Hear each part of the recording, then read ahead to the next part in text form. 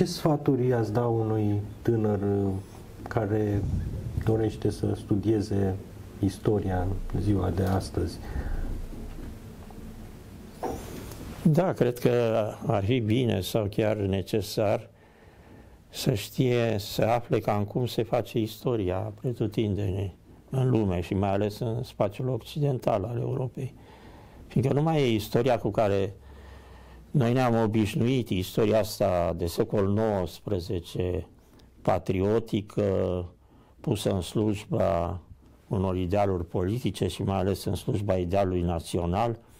Asta a fost cândva și a fost o istorie într-un fel folositoare, cum să spun. România, așa cum există ea astăzi, s-a făcut în mare măsură prin istorie, adică prin apelul la istorie și de aici mitologia Dacii antice, Mihai Viteazu și așa mai departe, lucruri pe care le știm prea bine.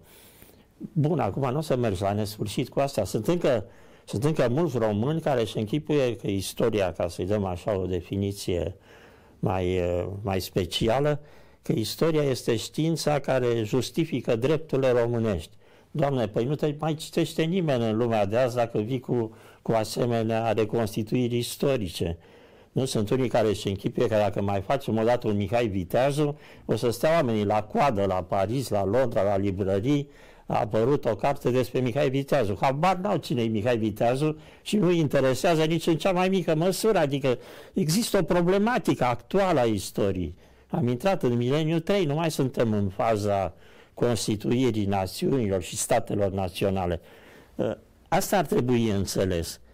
Fiindcă mizând în continuare pe o istorie din asta de tip școlar de leană, ne, ne izolăm cum ne-am izolat și suntem în continuare izolați în, în multe privințe, dar ne izolăm și cultural. Nu, nu interesează pe alții ce, ce zicem noi în continuare, tot în spiritul secolului al XIX-lea. Istoria aia și-a avut sensul la vremea ei. Acum nu și-l mai are. Cred că, în primul rând, e important să nu ne izolăm, să nu ne izolăm printr-o problematică care nouă ni se pare interesantă, importantă, dar cu care rămânem noi în brațe și alții nu se uită la așa ceva. Deci trebuie luat pulsul uh, mișcării culturale, cum să spun, și istoriografice în întreaga Europa și mai ales în, în spațiul occidental, dacă vrem să, să, să participăm la o dezbatere europeană.